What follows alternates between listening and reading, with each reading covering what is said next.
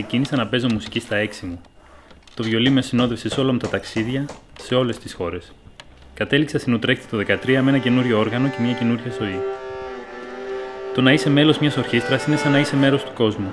Άνθρωποι από όλα τα μήκη και πλάτη καλούνται να συνεργαστούν και να μιλήσουν την ίδια γλώσσα. Τελικά, ανάμεσα από αγγλικά, ολλανδικά, ελληνικά και αλβανικά, η μουσική μου έμαθε ότι τα σύνορα είναι μόνο στο μυαλό μας. Ούντσου εμπρενάτο δε αμψιπτάρ. Η οικονομική ανισότητα είναι ένας βασικός λόγος μετακίνησης. Η αναλογία του πλούτου μεταξύ φτωχών και πλούσιων χωρών είναι αγεφύρωτη. Ένας κόσμος μεταναστεύει. Γίνε μέρος της λύσης.